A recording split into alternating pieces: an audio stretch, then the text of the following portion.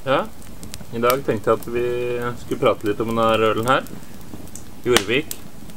13,5 Bonsak malt, espekveik, blommetre fra egen Haga og konjakk fra i hvert fall familien Bråstad på Gjøvik. Eh, litt om eh, tanken bak, åssen jeg satte den sammen, bryggeprosessen, og nå ølsmakinga. Vær så god.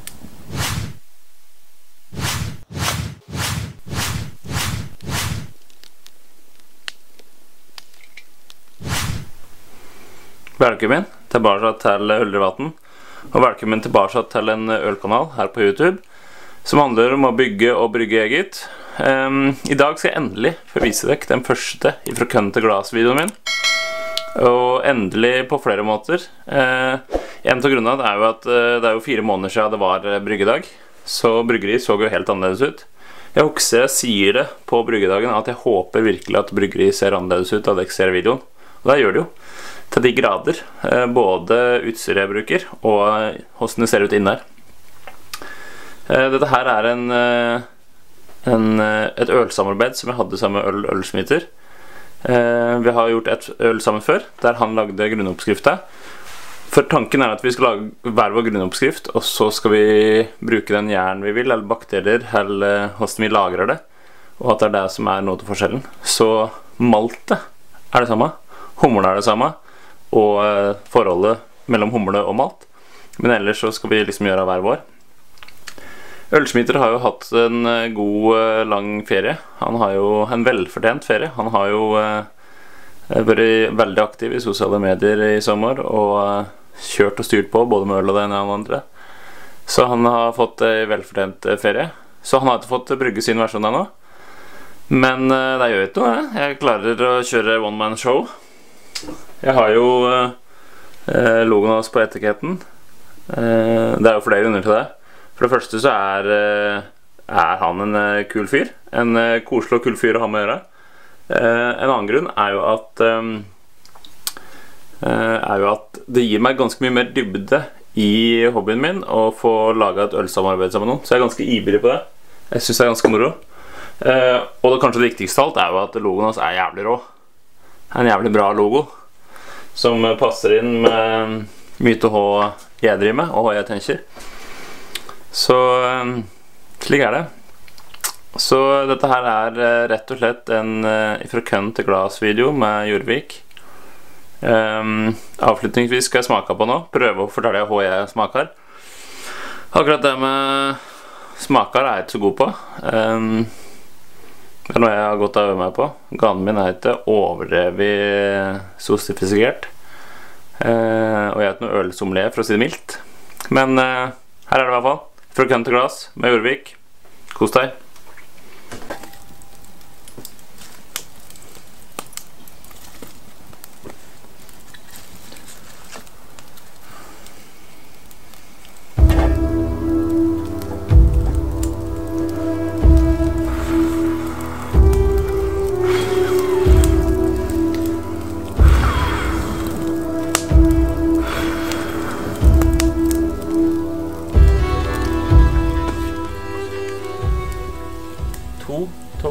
Til eh, den legendariske Ragnar Lottbrokk, Halvdan og Ivar Beinlaus, står i eh, ledelsen for den eh, store hedenske hær, Danehæren, som blir senere kalt.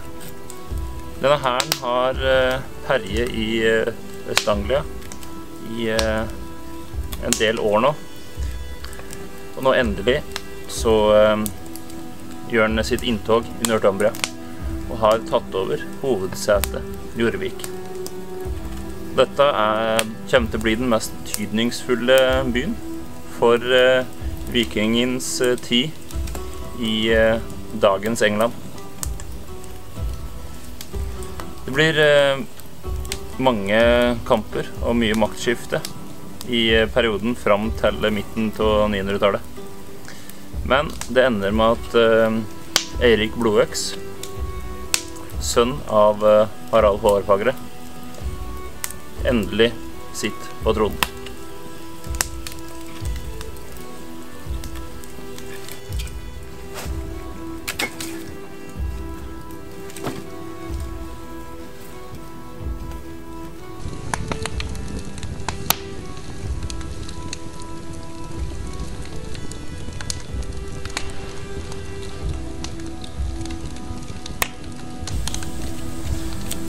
Erik Blodøks blir den siste jarlen eh, av eh, et uavhengig, så godt som uavhengig, Jorvik.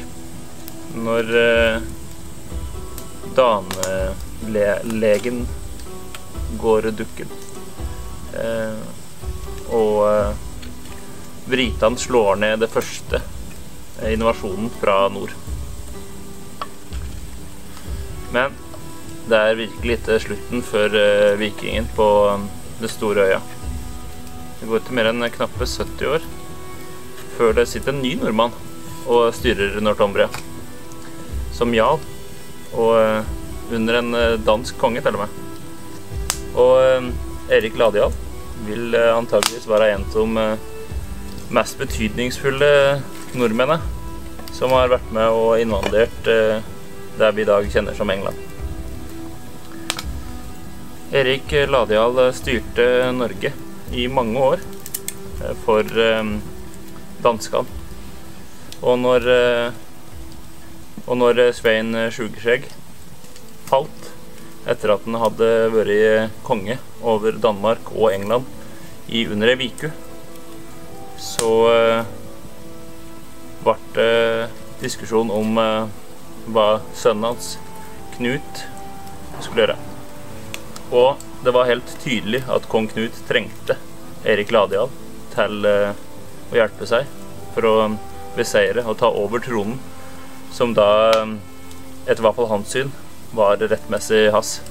Altså som dansk-engelsk konge. Og um, Snorre skal det til i Snorresagaen at um, Erik Ladial var veldig viktig for um, at kong Knut skulle klare det.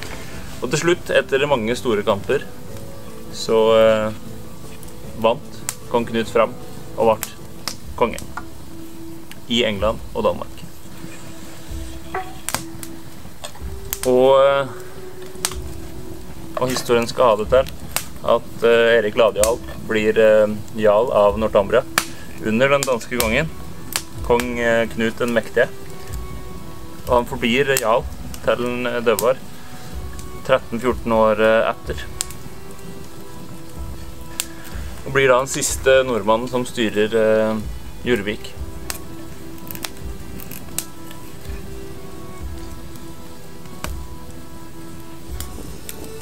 Så Jurvik har vært en handelsby og en enormt viktig by for uh, vikingen i England. Og det er dette som jeg har brukt til grunnlag i historia bak ølen. Jorvik. Jeg har jo brukt 100 eh, eh, bondsakmalt. Bærebondsakmalt. Jeg tenkte det var en hyllest til eh, Trøndelag og en av de store som har styrt et eller annet, og som helst, og er ifra Trøndelag. Eirik Ladial. Det er òg en hyllest til bondsakmalt, som jeg syns er jævla bra mat. Jeg har òg valgt å bruke kveik. Jeg bruker nummer 20 Espe.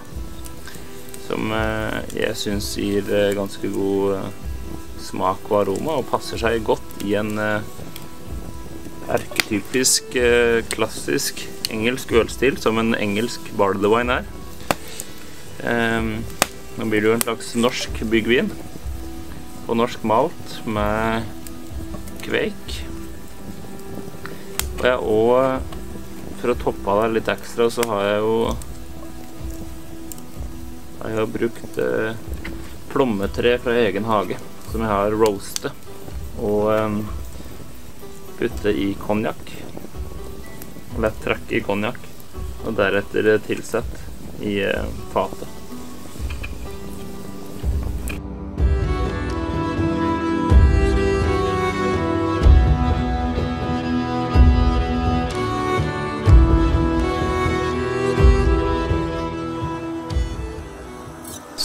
Når det gjelder eh, maltbasen min, så har jeg brukt, eh, som tidligere sagt, bærebondsakmalt. Det er eh, Fairytale Ale-malt som er hovedmalten jeg har brukt. Og så har jeg brukt Munich og Grape Note Granola som smakstilsetninger. Forholdsvis små tilsetninger i forhold til at det er mye Fairytale Ale-malt oppi her.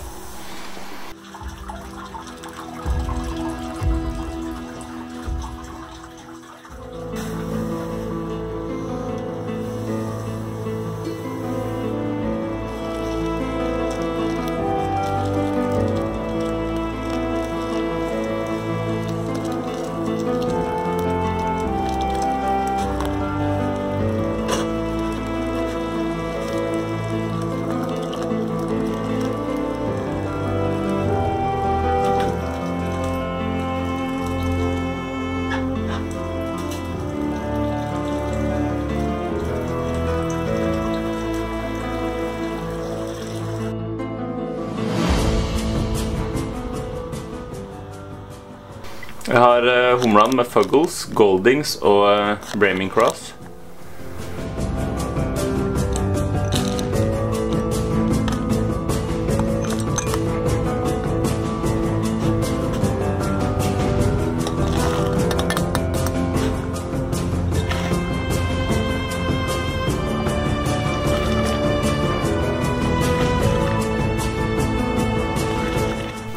Jeg har brukt uh, nummer 20 Espe.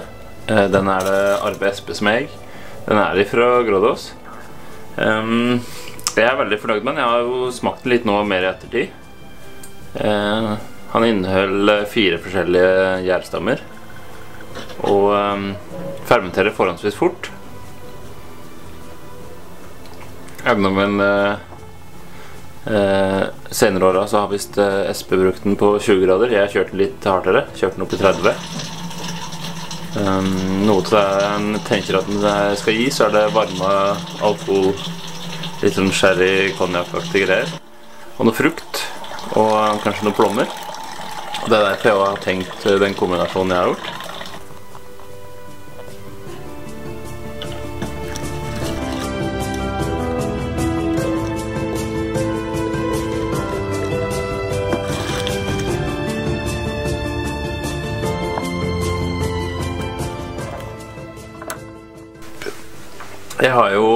Roasta plommetre fra egen hage. Kutta opp, tørka, kjørt i gang. Og um, delte opp. Putta det i ovnen og stekte på um, 200 grader over uh, to timer. Før jeg lagra det i konjakk ganske lenge. Før jeg tilsatte alt på fatet i et humlefilter. Og så har det ligget der i tre uker før jeg begynte å flaske ølen.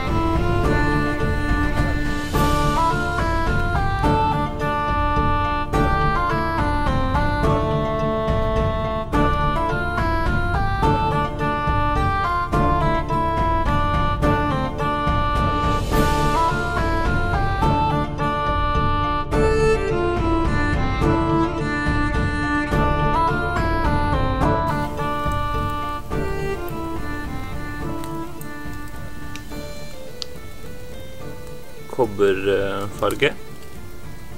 Mørk kobber, kanskje. Forhåndsvis eh, klar. Slik at jeg ser fingrene mine gjennom. Eh, tar med, med godt lys, men eh, allikevel.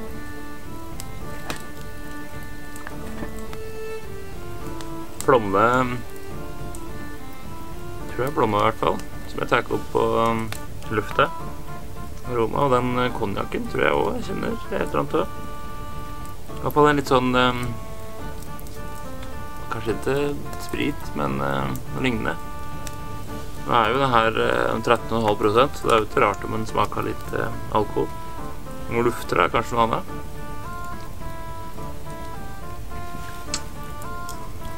Jeg får i hvert fall veldig lyst til å drikke den når jeg lufter den. Det er et eller annet annet her òg, fra denne kveken, tror jeg. Som ikke jeg klarer å plukke opp.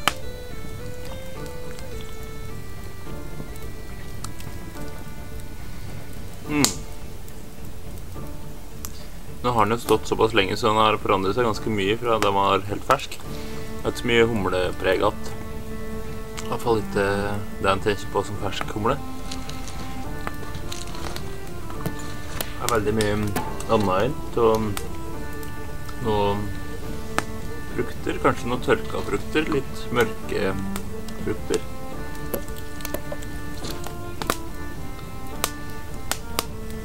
Han er ikke for søt, men han er litt um, Litt mjuk, litt sånn fløyel på tunga. I hvert fall midt i.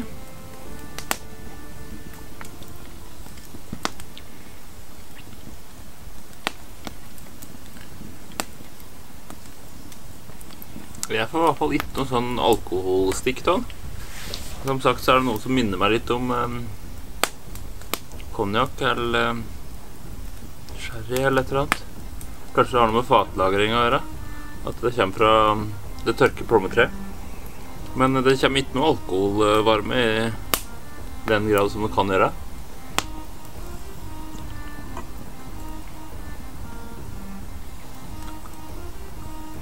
Mye, mye smak.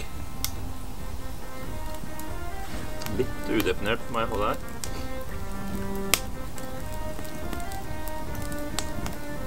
Kommer igjen med en del karakter fra malten, tror jeg. Og så legger det seg um, rett etter um, legger det seg um, trelagringa. Denne her har jo stiget ganske lenge, ganske måned på tre. Men er du glad i byggvin. Og eh, særlig den engelske. Kanskje du er litt glad i konjakk og plommer. Så kan dette her være noe for deg. Eh, så nå Huldrevatn-versjonen av Jorvik. 13,5 eh, Bonsakmalt. Espekvek. Plommetre fra egen hage. Konjakk. Bråstad, så klart. Gjøvik. Familie om ikke annet. Skål.